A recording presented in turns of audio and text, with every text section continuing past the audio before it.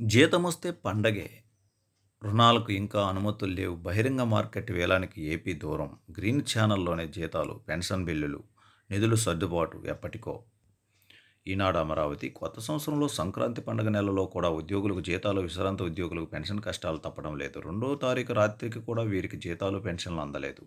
రాష్ట్ర ఖజానాలో సొమ్ము లేకపోవడం అప్పు చేసేందుకు అవకాశం లేనంతగా పరిస్థితులు దిగబారిపోవడంతో ఉద్యోగులకు ఎప్పటికీ ఓటు లభిస్తుందో తెలియని పరిస్థితి నెలకొంది. సాధారణంగా ప్రతి మంగళవారం రిజర్వ్ బ్యాంకు సెక్యూరిటీ బాండ్ల వేలం నిర్వహిస్తూ ఉంటుంది.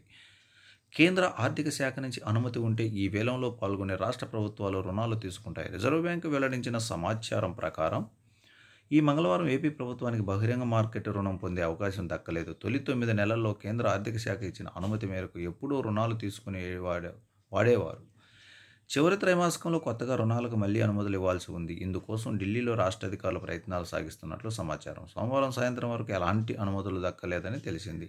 అనేక వెసులుబాట్లు ఇతరత్ర అంశాలతో రాష్ట్ర ఆర్థిక శాఖ కొత్త అప్పుల కోసం అనుమతులు కోరుతున్నట్లు సమాచారం.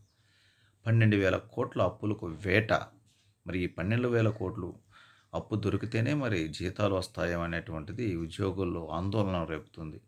ఒక నెల అయితే ఇలా సరే ప్రతి నెల జీతం వస్తుందో రాదో అనేటువంటి అనాలోచితంగానే జీవితం గడపాలంటే ఉద్యోగస్తులకు ఇబ్బందే మరి. ఓపర్ డ్రాఫ్ట్లోనే ఇంకా అని కూడా ఇక్కడ ఇవ్వటం జరిగింది.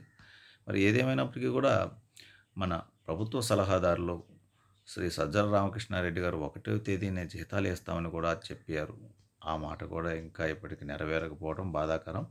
పండగ నెలలోనైనా కరెక్ట్గా జీతం వస్తే ఆనందంగా పండగ జరుపుకోవాలని చిరుద్యోగులు భావిస్తున్న సమయంలో జీతాలు రాకపోవడం ఒక అంత బాధాకరమే. వేచి చూద్దాం ఈ రోజైనా జీతాలు వస్తాయేమో